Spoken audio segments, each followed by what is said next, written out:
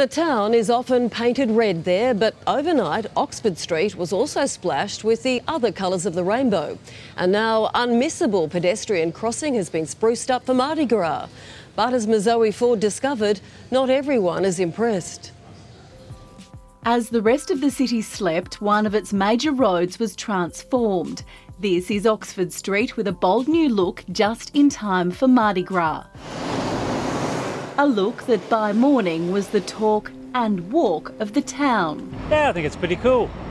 Sends a nice message. Oh, I think it's a fabulous idea, and, I, and we're very lucky to have it here in Sydney. On the very spot Mardi Gras began 35 years ago. And so this is a sign of how far we've come uh, and how much the city now celebrates our community. But at a cost of $110,000 for materials, design, labour, road closures, and extra CCTV, some believe it's a multicoloured mistake. I'm not so much opposed to them doing it, I just think it shows how incompetent government is at getting value for money and constructing things. Such a waste.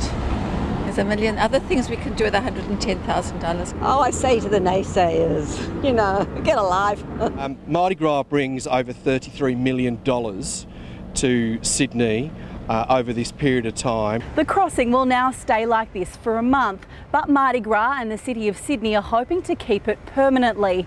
If that was to happen, though, there'd be even more costs. State government bureaucrats say it must come up after the month pending final approval for it to go down again. It was probably just a, a, a, a, quick bureaucratic decision, which I'm confident with strong community support will be reversed. We think that this is going to be so loved and so supported. If it can get past the government's red tape.